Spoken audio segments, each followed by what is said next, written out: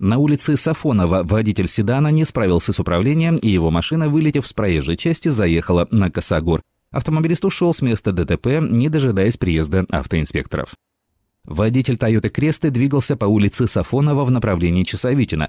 В районе поворота на улицу Гризодубовой мужчина, по всей видимости, решил развернуться. Но из-за большой скорости машина вместо того, чтобы совершить маневр, заехала на Косогор. Все попытки съехать обратно на проезжую часть оказались бесполезны, поэтому водитель седана просто закрыл свой автомобиль и направился дальше пешком. Очевидцы вызвали на место происшествия сотрудников полиции. Инспекторы осмотрели машину и обнаружили в салоне пустую бутылку из-под крепкого алкоголя. Возможно, спиртное и стало главной причиной произошедшего.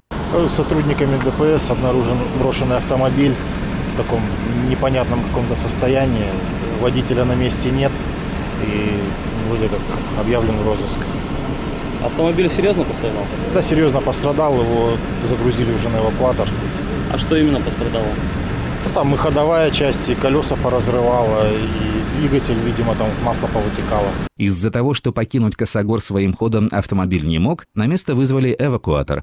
С помощью крана машину сняли из Косогора, чтобы доставить на арест-площадку. Чтобы вернуть свой автомобиль, владельцу Кресты теперь придется заплатить немалый штраф и объяснить полицейским, как его машина оказалась на Косогоре и почему он ушел с места аварии.